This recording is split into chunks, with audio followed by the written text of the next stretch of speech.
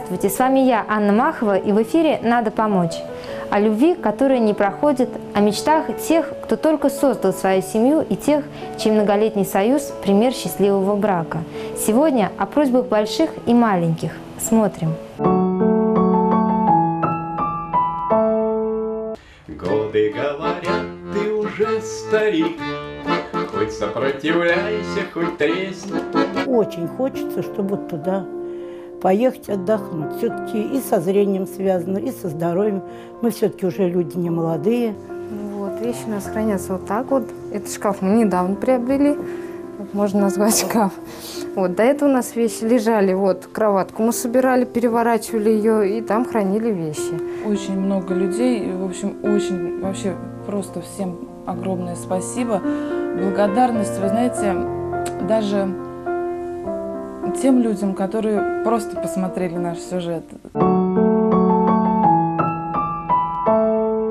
В Самаре живет семья Клименко. Супруги вместе вот уже 43 года. Обоих объединяет любовь, общие интересы и общий недуг. Наиля Хасьяновна и Борис Александрович оба не видят.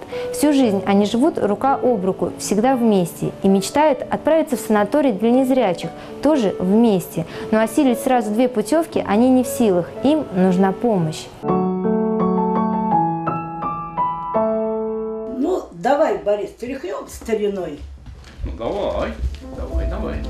Этой супружеской паре не бывает скучно. Если темы для разговора иссякли, они просто перестают говорить и начинают петь свои любимые песни. За верность твою и терпение твое Спасибо тебе, дорогая За верность твою и терпение твое Спасибо тебе, дорогая Этими песнями и своей игрой на баяне когда-то очень давно Борис Александрович Клименко и покорил сердце Наили Хасьяновны. Уже через три месяца пара сыграла свадьбу, а еще через год у них родилась дочка Любовь.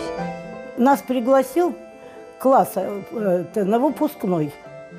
Девочки пригласили его, он у меня баянист, его играть на баяне, а меня, ну, как бы, как друга. И вот он сидел один, я сидела одна, и между нами был прекрасный лимонад, такой корюшон назывался на то время. И вот мы за этим корюшоном с ним познакомились. Они вместе уже 43 года. Долгие годы и в горе, и в радости они не расстаются друг с другом ни на минуту. Разве что сейчас, когда ей уже 66 лет, а ему 70, возраст и здоровье дают о себе знать, и тогда их могут разделить стены больницы. Вы знаете, нам плохо друг без друга. Я же говорю, его в прошлом году, вот он у меня на 40 дней а, заболел инфаркт сначала, пролежал в больнице Пирогова, потом в санатории Чкалова. И вот тут, знаете, э, сразу ощутилось, что вот чего-то в жизни моей остановилось. То есть чего-то вот не хватает, Оба супруга практически не видят. У Бориса Александровича проблемы со зрением с рождения. А Наиля Хасьяновна лишилась зрения в 7 лет после детской травмы. Их дочь, Любовь, тоже не обошел недуг. Она, как и родители, инвалид по зрению. Но это не помешало и ей встретить уже свою любовь и родить троих детей, внуков Клименко. Дочь с мужем и детьми живут в Чапаевске. Денег катастрофически не хватает, поэтому без родительской помощи не обойтись. Чтобы помочь дочке и внукам Клименко тратит на них практически весь свой доход. На себя денег уже не остается. При этом у них есть давняя мечта – вместе побывать в специализированном санатории для незрячих людей.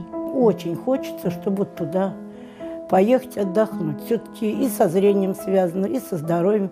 Мы все-таки уже люди не молодые. Уже давно не молодые, но по-прежнему сильно влюбленные Клименко по жизни идут не только с любовью, но и с оптимизмом и заражают им окружающих. Даже о своем возрасте они не столько говорят, сколько шутят и поют. Годы говорят, ты уже старик, Хоть сопротивляйся, хоть тресни. Так что привыкай, если не привык, Пенсия важнее, чем песни.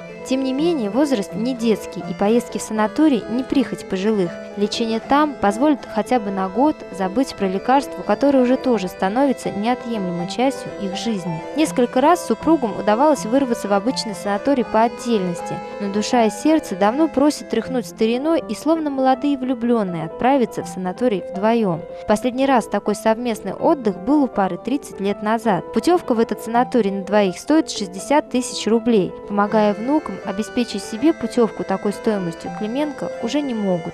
Если вы хотите помочь супругам осуществить их давнюю мечту, вы можете сделать это, позвонив по телефону 8 917 162 86 77 Наиля Хасьяновна Клименко.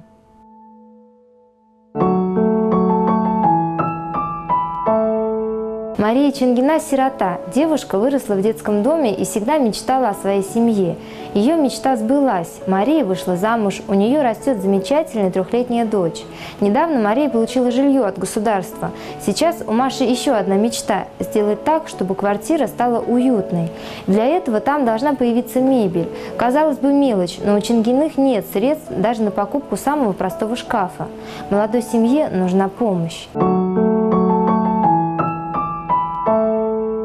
Трехлетняя Настя возвращается с мамой из садика. По пути к дому детская площадка. Мимо пойти никак нельзя. Вдоволь наигравшись, прокатив маму на всех каруселях, Настя спешит в свой родной и любимый дом. У девочки большая программа – папе пироги испечь, маме с уборкой помочь. Но для начала можно отдохнуть и за чашкой чая. Ведь всем известно, что хорошие и великие дела лучше с чашки чая начинать. Что сегодня в садике делала? Зарядку делала. Интересно было. В беседе вдруг подключился один из питомцев. Ничего необычного, тут так часто бывает. Будто в кроличьей норе у Алисы. Только тут вместо кролика вот усатый. Кажется, он тоже не против и чай отведать, и с хозяевами поговорить. Он кричит. Кричит, плачет. Да. Ты его на ручки посади. Настя заботится о нем с большой любовью, словно сама ему мама. Что значит так любить, малышка знает потому, что ее мама любит ее больше всего на свете. Кажется, Мария любит дочь так, как хотела, чтобы ее саму любили мама и папа. Девушка росла в детском доме и признает, что ей, конечно, не хватало в детстве заботы, нежности и ласки. Я была маленькая, мне было 6 лет. Э, Папа умер, а мама начала пить. У меня старшая сестра и брат их тоже хотели отправить. Но сестра уже училась в училище, а э, брат, над братом взяли опеку со школы учительница. Его, он не попал. Меня отправили. Вот я до 16 лет была там. Затем училище, работа и мечты о своем вот таком уютном доме, своей семье. Семья создалась быстро, дом какое-то время пришлось подождать, но сейчас есть и он. Хотя бы о своей комнате я мечтала вообще. Скиталась по квартирам, пока вот не получила.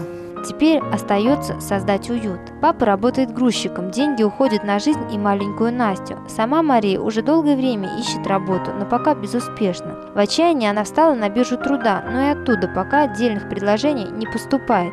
Денег нет, а с ними нет даже минимального набора мебели для жизни. Первое время вещи хранили в пакетах. Сейчас из досок сделали самодельный шкаф, но он ситуацию не спасает.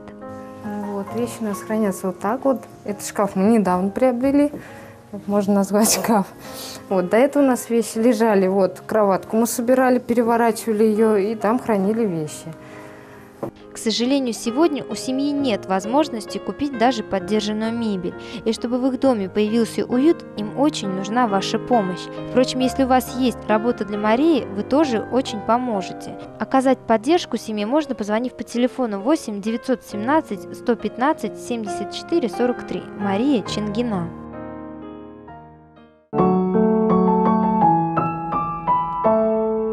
Вике Захаровой 5 лет. В год у девочки обнаружили сахарный диабет.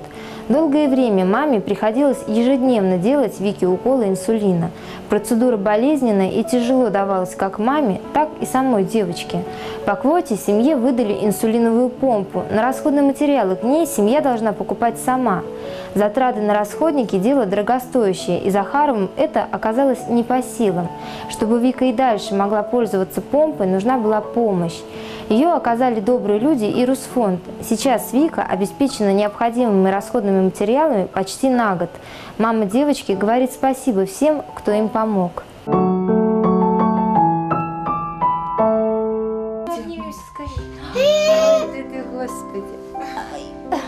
Маленькая Вика очень любит обниматься. Внутри этого пятилетнего ребенка столько доброты, что объятий и поцелуев хватает на всех, даже на совершенно незнакомых людей. И когда наша съемочная группа зашла в дом, Вика сразу кинулась меня обнимать и практически не слазила с рук все время, пока мы находились у нее в гостях.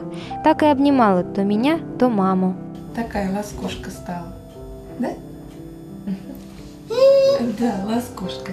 Все, ласкушка. Рождение Вики было трудным. Девочка не сразу задышала и в дальнейшем сильно отставала в развитии от сверстников. В год ее отправили на обследование. Стоял вопрос о том, чтобы поставить Вике диагноз ДЦП, но когда девочка стала сдавать анализы, они показали, что у Вики, ко всему прочему, еще одна серьезная болезнь – сахарный диабет. После этого каждый день малышки стали делать спасительные уколы. У нас э, очень были нестабильные сахара. Она маленькая, дозы очень маленькие. Э, на ручках скомпенсировать вообще было сложно. Делать уколы – это не обниматься, и, конечно, Вика боролась каждый раз, когда мама спешила сделать укол. К тому же дозы были настолько маленькие, что ошибиться и вколоть больше или меньше необходимого было довольно просто. Итог такой ошибки мог привести к летальному исходу. Поэтому по государственной программе девочке выдали инсулиновую помпу. С ней про уколы можно было забыть. Выдавая помпу, родители предупредили, расходные материалы к ней им придется покупать за свой счет. Конечно, на тот момент меня это нисколько как бы не напугало. То есть я больше думала о том, что это все-таки здоровье моего, моего ребенка. Вот. Но когда действительно столкнулись э, с эм, всеми как бы вот этими вот, когда нужно покупать расходные материалы, когда нужно дополнительно ребенка еще где-то заниматься с ним, ходить там. И мы как бы поняли с мужем, что мы сами не сможем закупать вот эти себе расходные материалы. В надежде на помощь семья обратилась в Русфонд, и уже через пять дней после того, как счет на девочку открыли, средства были собраны. Почти на весь год Вику обеспечили всеми необходимыми расходными материалами к помпе. Очень много людей, в общем, очень, вообще просто всем огромное спасибо. Благодарность, вы знаете, даже тем людям, которые просто посмотрели наш сюжет. То есть э, мы вообще рады даже, скажем так, ну, не только материальной поддержки. Для нас очень важна поддержка там, каким-то словом, Сейчас Вика без страха, слез и капризов дает маме померить уровень сахара в крови, заменить катетер. Теперь инсулин поступает в организм малышки, не причиняя ей боль и ровно в том количестве, в котором нужен. А родители, благодаря помощи многих людей, могут вновь обеспечить дочь не только необходимыми расходниками к помпе, но и специалистами, которые помогут Вике дальше расти и развиваться.